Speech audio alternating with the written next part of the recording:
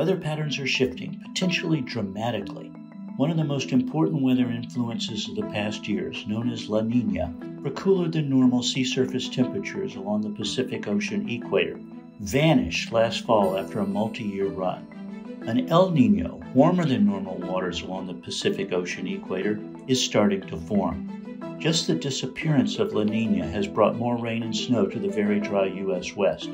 The coming El Nino may bring a little more rain to the U.S. Corn Belt, as well as more heat and drier conditions to parts of India and eastern Australia.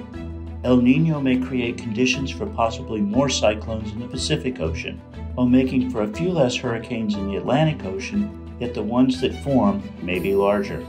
But every El Nino is different, so we'll be monitoring developments carefully as big changes are in progress.